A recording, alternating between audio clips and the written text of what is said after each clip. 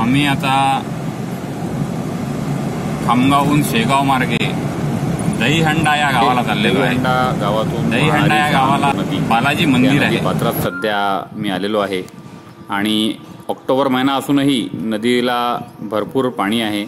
आपल्याला दिसत असेल चांगलं पाणी वाहत आहे. आणि मोठं पात्र आहे. ही नदी पुढे पूर्णा नदीला मिळते.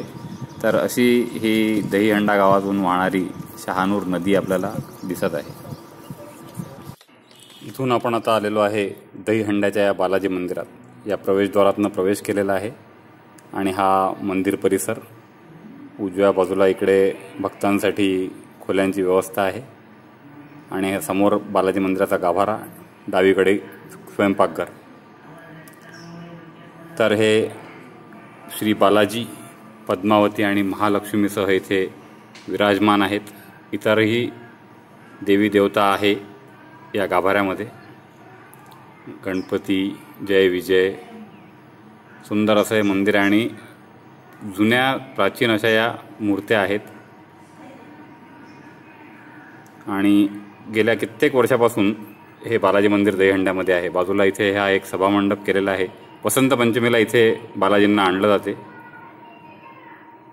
आणि हा असा मंदिर परिसर सुंदर असा स्वच्छ असा हा मंदिर परिसर आहे. उजव्या हाताला बगीचा सुद्धा यांनी केलेला आहे. मंदिराच्या उजव्या बाजूला आई ही एक छोटीशी बाग मंदिराने फुलवलेली आहे. त्यामुळे सुंदर असं वातावरण इथे निर्माण झालेलं आहे. तर मित्रांनो जर तुम्हाला दहीहंड्याच्या बालाजी मंदिराला भेट द्यायची असेल तर तुम्ही अकोल्याहून किंवा अकोटवरून किंवा खामगावहून शेगाव मार्गे इथे येऊ शकता आणि इथे बालाजीचे दर्शन घेऊ शकता. धन्यवाद. माझं चॅनल आवडलं असेल तर सबस्क्राईब करा. व्हिडिओ आवडला असेल तर लाईक करा कमेंट करा बेल आयकॉनवर प्रेस करा. थँक्यू मित्रांनो. धन्यवाद.